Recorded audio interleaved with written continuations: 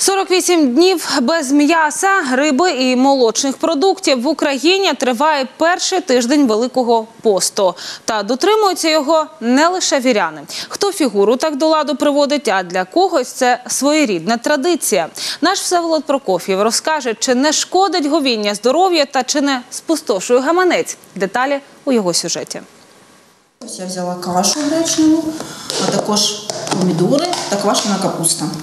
Це і весь обід Юлії. Жодних бутербродів з ковбасою чи сиром. Навіть шматочка масла до каші не кладе. Дотримується посту вже 5 років. Я чомусь подумала, може спробувати, ну гірше ж не стане, може стане е, краще, і тепер це для мене як традиція. Протягом 48 днів самі крупи, овочі та бобові. Вони основа пісного меню. А от м'ясо, молочні продукти, яйця, випічку та солодощі зась. Почастуватися можна хіба що рибою, і те лише у вербну неділю та на благовіщення.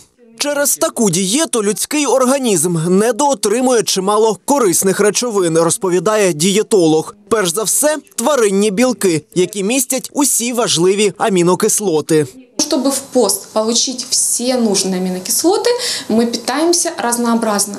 То есть мы едим разные виды каш, мы употребляем разные виды злаков, это в виде цельнозернового хлеба, мы употребляем бобовые обязательно, чемпионом по содержанию белка и по легкости его усвоения среди бобовых является чечевица. Меншає у раціоні і вітамінів групи Б. Їх поповнити допоможуть зелень та овочі. Та купувати їх із настанням посту дніпряни більше не стали, кажуть продавці на ринку. А скажите, стали ли больше овощей и фруктов вот с началом поста покупать? Да перестаньте их вообще перестать, не перестали. Перестали вообще брать, не то что А там. чего? А я знаю, чего цены, посмотрите, радуют. Посмотрите, перец, помидоры, огурцы. Какая цена? Не каждый может это купить. Ну, яблоки в основном берут, дешевые.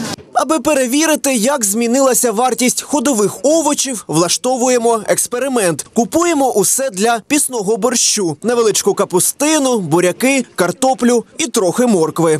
Будь ласка. Дякую вам. Овочів, які ми придбали на ринку, вистачить десь на 3-літрову каструлю борщу. За них ми віддали 40 гривень. Однак ще місяць тому той самий набір продуктів обійшовся б нам на 7 гривень дешевше.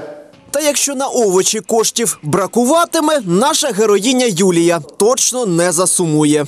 І пироги печу, і пончики готую. Просто не використовую яйця, не використовую молоко, кефір і так далі.